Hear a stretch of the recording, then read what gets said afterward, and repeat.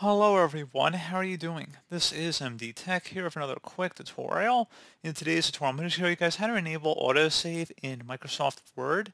So this will hopefully be a pretty straightforward process here guys, and without further ado, let's go ahead and jump right into it. So all you have to do is select the File tab up in the top left, and go down and select Options.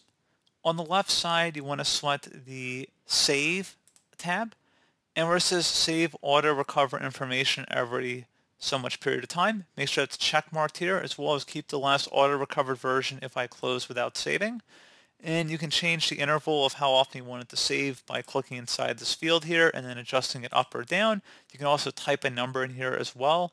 Usually every couple minutes I'd recommend having an auto save. So five minutes might be too long, you know, in some people's opinion. Some people might just want to do one minute, frankly, and you would just select OK. And that's all you have to do.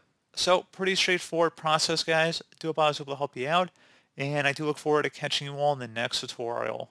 Goodbye.